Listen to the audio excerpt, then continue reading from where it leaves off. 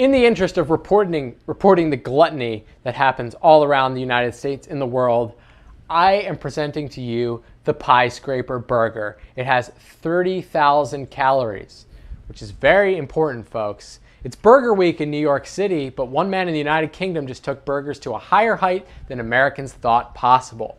Not satisfied with unleashing a fried $25,000 calorie piece of candy on the world, John Clarkson of Mr. Eater's Fish and Chips has taken it to a whole new level, creating a mammoth burger that makes the double bypass burger, as we know at the uh, Heart Attack Grill in Las Vegas, look like a kale salad.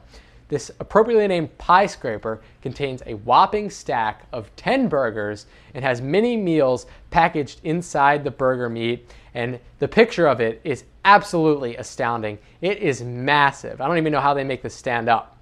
So, some of the meals inside the pie scraper include spaghetti bolognese and meatballs, a meat and potato pie, a pepperoni pizza, black pudding, spam, and sausage.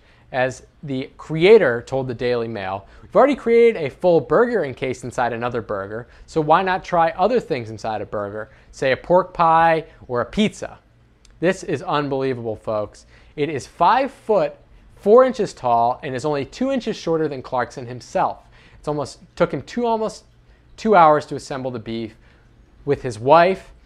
Now, this is probably the world's tallest burger, but this has not been Guinness World certified yet.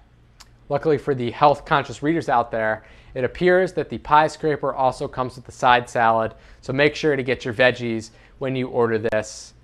Unbelievable, folks. Let me know what you think about that one in the comments below.